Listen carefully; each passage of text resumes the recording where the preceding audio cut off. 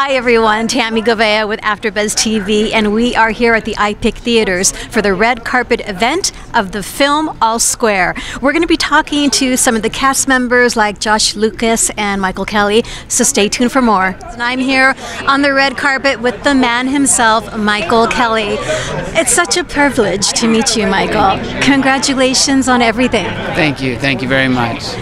I understand that you falling in love with the script was kind of the what jettisoned this whole project. Can you talk about kind of the organic experience of taking it from script to screen?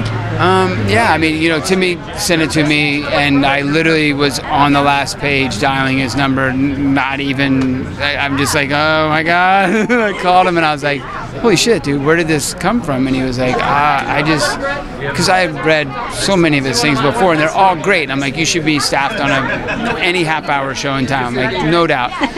But I read this and I was just like, oh my God. And I, I called him and I said, where did this come from? And he said, I wrote something from my heart instead of what I thought everyone thought I should be writing. And I was like, this is so good. I said, we need to make this movie. and cut to here we are, whatever, year and a half, two years later, we made it.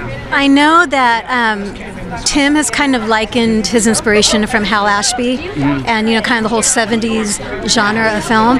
And the film really had, I don't want to say old, old fashioned kind no, of yeah, feel, but is that so? That was on purpose, and is that part yeah, of? Without a doubt. Like I mean, Timmy Timmy wrote that, and then John, Timmy, myself, we all talked, and and John, great filmmaker who's mostly done action prior, is a huge Hal Ashby fan and knows everything about every bit of cinema. Like literally, you can ask him anything about any movie, and he'll answer it.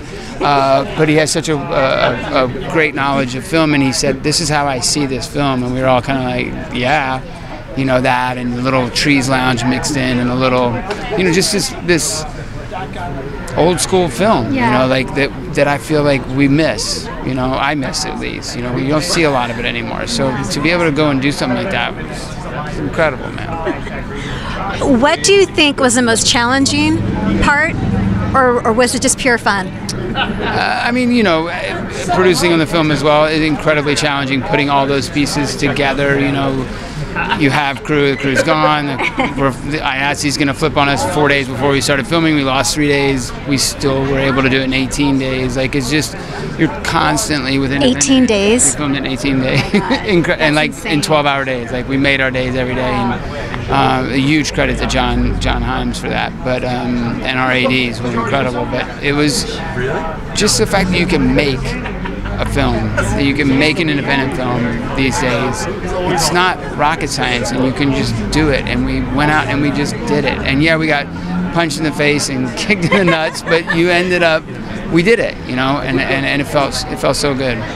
It was amazing to see you in a role that was a comedy yeah. Because it seems a little bit of a departure from maybe your past work. from everything for the last six years. I know. I feel like people are just like, oh, like even even when I went and did Taboo, I felt like they wanted an 1800s version of, of Doug Stamper.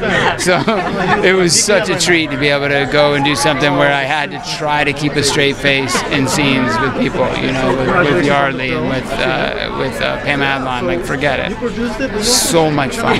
So much fun. Congratulations again. We look forward to more smiles from you, more roles with you smiling. Believe me, it's a lot less stressful. I'll take it any day. Thank you very much. Thank you very much.